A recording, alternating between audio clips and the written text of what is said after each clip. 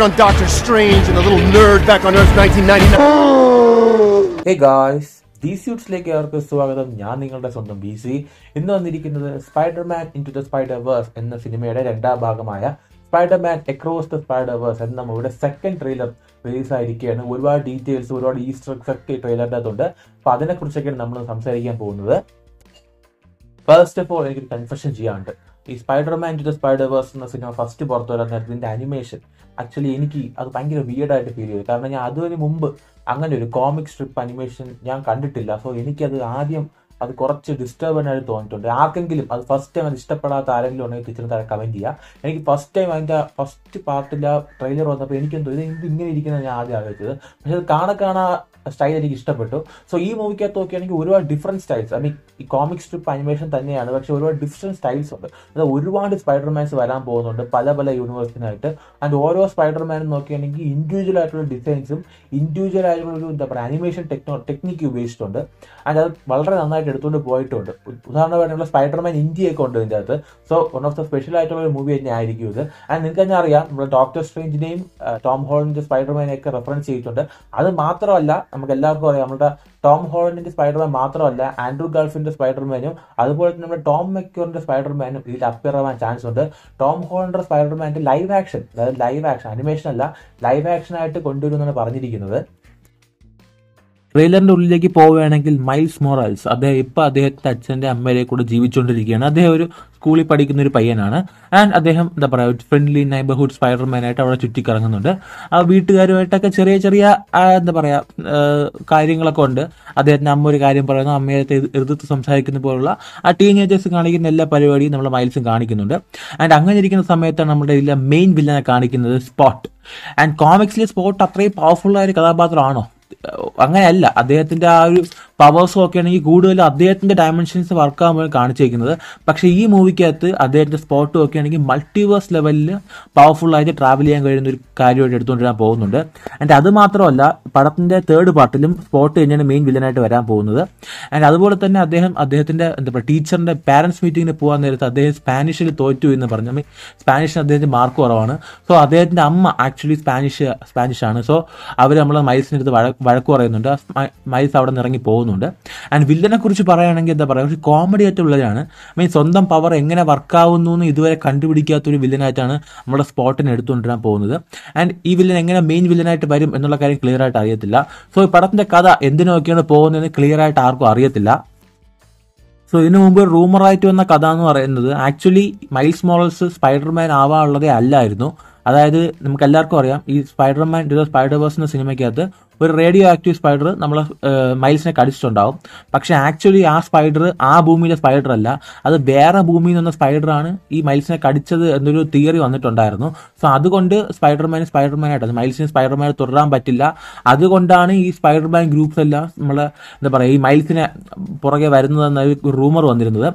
പക്ഷേ അതിനെക്കുറിച്ചൊന്നും ട്രെയിലർ പറയുന്നില്ല. പക്ഷേ ട്രെയിലർ വന്നേക്കുന്ന ഒരു കഥ എന്ന് പറയുന്നത് ട്രെയിലറിന്റെ അകത്ത് വന്നേക്ക് നോക്കുകയാണെങ്കിൽ നമ്മളെ ഗൊന്ന് നമ്മളുടെ സ്പൈഡർമാൻ നമ്മളെ മൈൽസിനെ നോക്കുകയാണെങ്കിൽ ആ സീക്രട്ട് സ്പൈഡർ സൊസൈറ്റിക്ക് അത് വിളിച്ചുകൊണ്ട് പോകുന്നിടത്താണ് തുടങ്ങുന്നത്. ഒരുപാട് സ്പൈഡർമാനെ കാണാൻ കഴിയും. ആൻഡ് എല്ലാ സ്പൈഡർമാനും ആരൊക്കെയാണെന്നുള്ള വീഡിയോ ഉടൻ തന്നെ വരുന്നുണ്ട്. കുറച്ച് ലെങ്ത് കൂടുതലായിരിക്കും അതുകൊണ്ട് താമസിക്കുന്നത്. എത്രയൊക്കെ സ്പൈഡർമാനിൽ വന്നിട്ടുണ്ട് ഈ സ്പൈഡർമാനൊക്കെ ഏത് യൂണിവേഴ്സിനാണ് വരുന്നത് എന്നുള്ള ഒരു വീഡിയോ വരുന്നുണ്ട്. സോ വെയിറ്റ് ചെയ്തിരിക്കുക. എന്റെ ചാനൽ സബ്സ്ക്രൈബ് ചെയ്തോ സബ്സ്ക്രൈബ് ചെയ്ത് സപ്പോർട്ട് ചെയ്യുക. ആൻഡ് അങ്ങനെ നമ്മൾ അവർ പോയി നിൽക്കുന്നത്. നമ്മളെ ഗൊന്ന് പറയുന്നത് ഇതെല്ലാം നോക്കുകയാണെങ്കിൽ നമ്മളുടെ നമ്മളുടെ മൈക്കിൾ ഹൊഹേര എന്ന് പറയുന്ന സ്പൈഡർമാന്റെ അടുത്ത്. അതായത് നമ്മളെ സ്പൈഡർമാൻ ടൂ തൗസൻഡ് നയന്റി നയന്റെ അടുത്ത് വരുന്നുണ്ട്. അദ്ദേഹമാണ് ഇപ്പം എല്ലാ സ്പൈഡർമാനും ഒന്നിപ്പിച്ച് ഇങ്ങനെ ഒരു സ്പൈഡർമാന്റെ സീക്രട്ട് സൊസൈറ്റി ആരംഭിച്ചിരിക്കുന്നത്. അതായത് എല്ലാ സ്പൈഡർമാനും ഇവിടെ വന്ന് അവരെ സഹായം ആവശ്യമുള്ളവർ എടുക്കാം. അപ്പം നമ്മൾ മൈൽസ് ചോദിക്കുന്നു ഐ മീൻ ഞാനും ഇത് ജോയിൻ ചെയ്യാന്ന് പറയാൻ നേരത്ത് നമ്മളുടെ മൈക്കിൾ ഹൊഹേര പറയുന്നു നീ മാത്രം ഈ ടീമിൽ ജോയിൻ ചെയ്യാൻ പറ്റൂല. അത് മാത്രമല്ല നമ്മളുടെ വേൾഡായ അതായത് നമ്മളുടെ എർത്ത് ഈ വേൾഡിലുള്ള നമ്മളുടെ ടോം ഹോളിന് സ്പൈഡർമാനെ ഡോക്ടർ സ്ട്രെയിനെ പറഞ്ഞിട്ടുണ്ട്. ആൻഡ് അത് മാത്രമല്ല നമ്മളുടെ എർത്ത് നയന്റീൻ നയന്റി നയൻ എന്നാണ് അദ്ദേഹം പറഞ്ഞിരിക്കുന്നത്. ആൻഡ് ഇത്ര നാളെല്ലാവരും വിചാരിച്ചുകൊണ്ടിരുന്ന എർത്ത് സിക്സ് വൺ സിക്സ് എന്നാണ്. ആൻഡ് ഇത് മാവൽ ഫാൻസിന്റെ അകത്ത് തന്നെ ഒരു അടി കിടക്കുന്ന ഒരു കാര്യമാണ്. ഐ മീൻ മാവൽ മൂവീസ് നടക്കുന്നത് Earth ഒന്നൊന്നിലാണോ? I mean Earth six one സിക്സിലാണോ? അതോ എർത്ത് നയന്റീൻ നയന്റി നയനിലാണോ എന്നുള്ളത്? സോ ഇതിന്റെ അകത്ത് നമ്മളുടെ എർത്തിന് അത് ഇപ്പം മൂവീസ് കിടക്കുന്ന എർത്ത് നോക്കുകയാണെങ്കിൽ നയന്റീൻ നയന്റി നയൻ എന്നാണ് പറഞ്ഞിരിക്കുന്നത്. സോ എന്താ പറയുക ഈ ഒരു കഥാപാത്രത്തിന്റെ ലക്ഷ്യം എന്താണെന്ന് ആർക്കും അറിയത്തില്ല. പക്ഷേ ട്രെയിലർ പോകുന്ന വെച്ച് നോക്കാൻ നേരത്ത് നമ്മളുടെ ബൈസ് എന്തോ ഒരു കാര്യം സാക്രിഫൈസ് ചെയ്യേണ്ടതായിട്ടുണ്ട്. ഐ മീൻ സ്പൈഡർമാൻസ് എല്ലാം തന്നെ എന്തെങ്കിലും ഒന്ന് സാക്രിഫൈസ് ചെയ്തിട്ടുണ്ടാവും. നമ്മളുടെ ടോബി മഗ്യൂറിന്റെ സ്പൈഡർമാൻ അങ്കിളിനെ നഷ്ടപ്പെടുത്തിയിട്ടാണ് അദ്ദേഹം സ്പൈഡർമാൻ തന്നെ ആവുന്നത്. Great powers comes with great responsibility എന്ന് പറയും പോലെ ടോം ഹോളിന്റെ സ്പൈഡർമാൻ നോക്കിയാൽ അദ്ദേഹത്തിന്റെ ആണ്ടിനെ സാക്രിഫൈസ് ചെയ്തിട്ടുണ്ടാവും.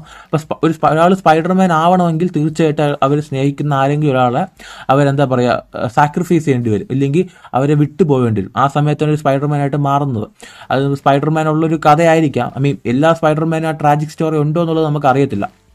സോ ഇതിന്റെ അകത്ത് നമ്മൾ സ്പൈഡർമാൻ ആരെ ഒരാളെ ലൂസ് ചെയ്യാറുണ്ട്? മേ ബി അദ്ദേഹത്തിന്റെ അച്ഛനെ ആയിരിക്കാം പക്ഷെ ഫസ്റ്റ് പാർട്ടിൽ ആക്ച്വലി അദ്ദേഹത്തിന്റെ അങ്കിളിനെ ലൂസ് ചെയ്തിട്ടുണ്ടാവും. പ്രൗളർ എന്ന് പറഞ്ഞാൽ അദ്ദേഹത്തിന്റെ അങ്കിളിനെ ലോസ് ചെയ്തിട്ടുണ്ടാവും അദ്ദേഹം. പക്ഷെ ഈ പടത്തിന്റെ അകത്ത് അദ്ദേഹം ആരെ ഒരാളെ ലോസ് ചെയ്യാൻ പോകുന്നുണ്ട്? ക്ലിയർ ആയിട്ട് അറിയില്ല ആരെയാണെന്നുള്ളത്. മേ ബി അദ്ദേഹത്തിന്റെ അച്ഛനെ ആയിരിക്കാം ഇല്ലെങ്കിൽ ഇല്ലെങ്കിൽ ആരെയായിരിക്കാം? അമ്മയായിരിക്കാം. ഇല്ലെങ്കിൽ ഗൊന്നിനെ ആയിരിക്കാം ഇല്ലെങ്കിൽ പീറ്റർ ബി പാക്കറിനെ ആയിരിക്കാം. ആരെ ഒരാളെ ലോസ് ചെയ്യാറുണ്ട്? പക്ഷേ നമ്മളുടെ എന്താ പറയുക മൈക്കിൾ ഹോയറ പറയുന്നത് നിനക്ക് ഒന്നെങ്കിൽ ഒരു വ്യക്തിയെ രക്ഷിക്കാം ഇല്ലെങ്കിൽ രോഗത്തെ രക്ഷിക്കാം. നിനക്ക് രണ്ടും ഒരേ സമയത്ത് ചെയ്യാൻ പറ്റത്തില്ല. നിനക്ക് ഏതെങ്കിലും ഒരു കാര്യമേ ചെയ്യാൻ പറ്റുള്ളൂ എന്ന് പറയുന്നു. ആ തീർച്ചയായിട്ടും നമ്മൾ മൈൽസ് അത് കേൾക്കൂല. മൈൽസ് പറയും എനിക്ക് രണ്ടും ഒരേപോലെ ചെയ്യാൻ പറ്റും എന്നാണ് ഇത് പറഞ്ഞു പോകുന്നത്. ആൻഡ് അതുപോലെ തന്നെ നമ്മുടെ പീറ്റർ ബി പാക്കറിന്റെ കാണിക്കുന്നുണ്ട്. അദ്ദേഹം നോക്കിയാണെങ്കിൽ ഇപ്പം റിട്ടയർ ആയെന്ന് വന്നു കൊച്ചൊക്കെ ഉണ്ട്. ആൻഡ് കൊച്ചിനും നോക്കിയാണെങ്കിൽ സ്പൈഡർമാൻ പവേഴ്സ് ഉണ്ട്. സോ ഫൺ ആയിട്ടുള്ള ട്രെയിലറാണ്. പക്ഷേ കഥ എന്താണെന്ന് ക്ലിയർ ആയിട്ട് നമുക്ക് അറിയത്തില്ല. സോ നമ്മുടെ സ്പൈഡർമാൻ നമ്മൾ മൈക്കിൾ ഹോയർ നമ്മൾ Spiderman two thousand twenty nine പറയുന്നത് ഒന്നും കേൾക്കാത്തത് കൊണ്ട് തന്നെ നമ്മളെ എല്ലാ സ്പൈഡർമാനും നമ്മളുടെ മൈൽസ് മോൾസിനെ പിടിക്കാൻ വേണ്ടി പോവുകയാണ്. അതിൽ ഒരു സീൻ നോക്കുകയാണെങ്കിൽ നമ്മുടെ ഒരു സ്പൈഡർമാൻ നോക്കുകയാണെങ്കിൽ വേറൊരു സ്പൈഡർമാന്റെ അടുത്ത് ഒരു തെറാപ്പി ചെയ്യുമ്പോൾ കാണിക്കുന്നുണ്ട്. ആൻഡ് ക്ലൈമാക്സിൽ ആ മീം ഷോട്ടും അതായത് പിടിയടാ സ്പൈഡർമാനെ പറയുന്ന നേരത്ത് എല്ലാവരും അങ്ങോട്ടും ഇങ്ങോട്ടും കൈ ചൂണ്ടി നിൽക്കുന്നത് കാണിക്കുന്നുണ്ട്. ഒരു ഫണ്ണായിട്ടുള്ള പക്ഷേ കുറച്ച് എന്താ പറയുക കുറച്ച് ആ ഫാമിലി ഒക്കെ എടുത്തുകൊണ്ട് പോകുന്ന ഒരു കഥയായിട്ടാണ് എനിക്ക് തോന്നാൻ പോകുന്നത്. സോ എത്ര പേര് ട്രെയിലർ കണ്ടു എത്ര പേര് ട്രെയിലർ ഇഷ്ടപ്പെട്ടു എന്നൊക്കെ കമന്റ് ചെയ്യാം.